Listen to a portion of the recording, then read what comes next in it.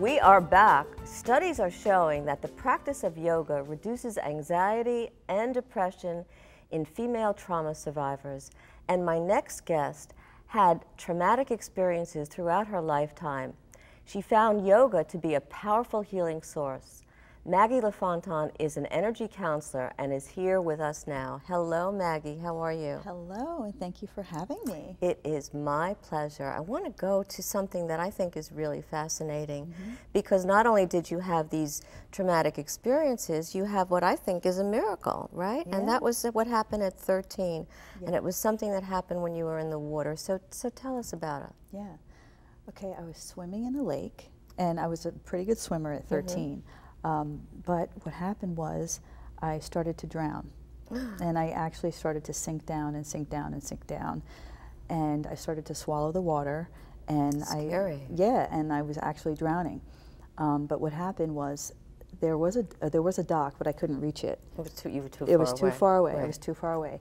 Um, but there was a light that surrounded me, and started to pull me up. So did you see the light? Did you feel the I light? I felt the light, and I saw the light, and it was it was kind of an angelic sort of experience and I knew that it wasn't my time to die yet. I could feel it. So the light started to bring me up and then there was a little boy that was on a floating dock. Right. And he, he was probably about seven years old and he reached his hand down but I still couldn't reach it and this light was just bringing me up and bringing me up and bringing me up.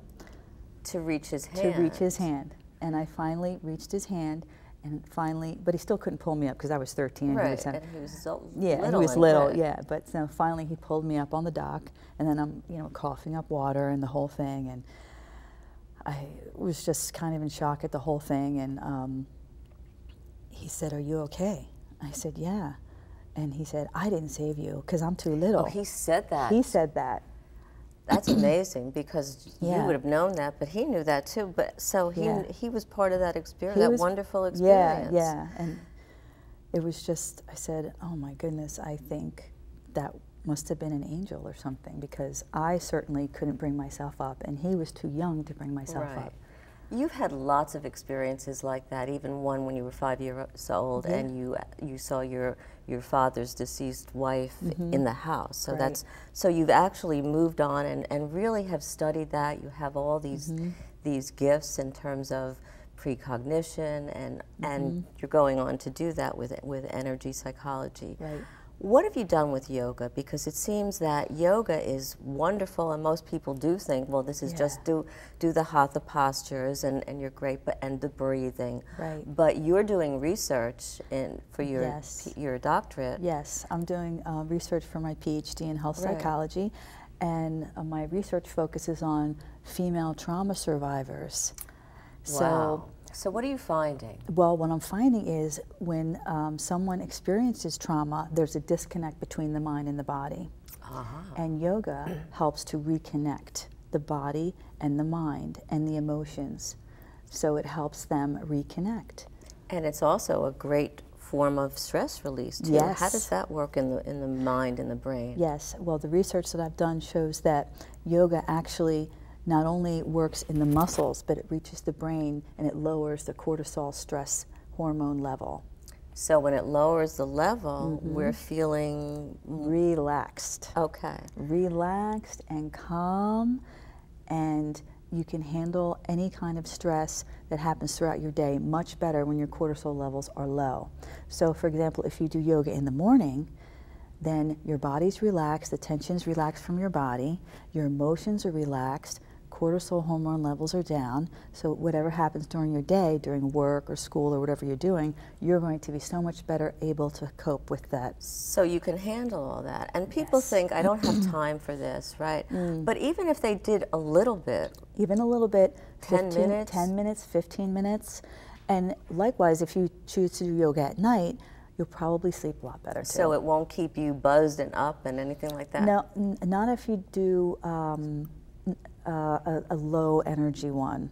If you do a very fast vinyasa, uh, that kind of 90 minute, it might take you an hour or so to calm down before you can really settle down and sleep. What else has yoga been found to do? Yoga has found to reduce blood pressure, diabetes. Diabetes? Oh yeah, it could lower your sugar levels. It does so many different How things. does it do that? Again, with this, with the, the sugar levels, it, it will balance out your sugar levels in the body. This research is incredibly important, and I guess for many years people were thinking something different, but now Mm-hmm. it's a holis- a, an entire holistic approach, which is everything that you, Maggie LaFontaine, are about. Yeah, yeah. And even in terms of, I use it in combination with my Reiki practice too, because I'm a Reiki master. Right. So I, com- I help people to incorporate yoga and Reiki together to help them with mind body holistic spiritual healing. And everything about that, that whole mind body connection, is very, very important.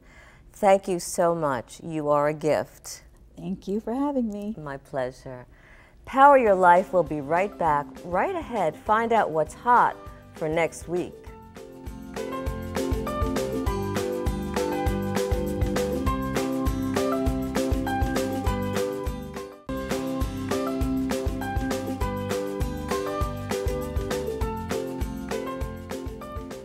Suffer from poor communication? And do you know that poor communication is really a major cause of breakups and can cause so many problems and disconnects among family members and friends?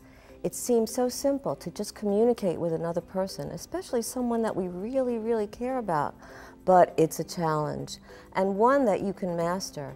Good communication means really being engaged with the person through eye contact, welcoming body language, and really true active listening. When you're surfing the net or you're checking text messages, it doesn't really give your partner or your friend a warm, fuzzy feeling about the interaction that you're having. It's really just the opposite. So try this tip. Next time you're talking to someone, gaze into one eye and then the other, going back and forth. Not only does it seem to make your eyes sparkle, which is great, it expresses interest, making the person feel special and valued. And who doesn't want that? Thanks for being with us tonight. Are you worried about piling on credit card debt with no relief in sight? Or does the thought of identity theft keep you awake at night? Next week, we'll have answers to these pressing challenges and more. Remember that you have the power to power your dreams and power your life.